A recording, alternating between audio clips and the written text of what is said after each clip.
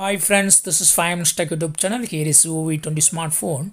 In this video, we will learn how you can change keyboard language in your phone Vivo V20. First of all, your phone, go to the settings. Now click on system, click on language and input, click on on-screen keyboard, click on Gboard, click on languages and here select add keyboard. Select the language of your choice for keyboard. I select Tamil.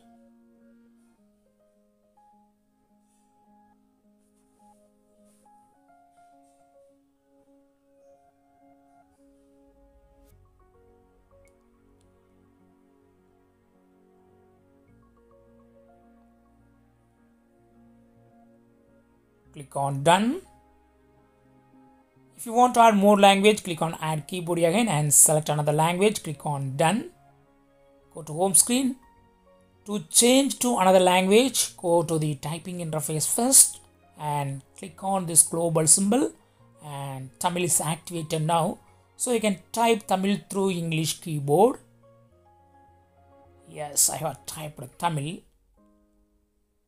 if you want to change to another language click again on the global symbol and another language will be appearing.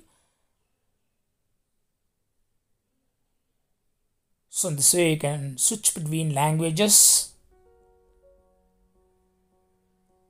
I typed in Marathi now. That's all friends. Thanks for watching. Bye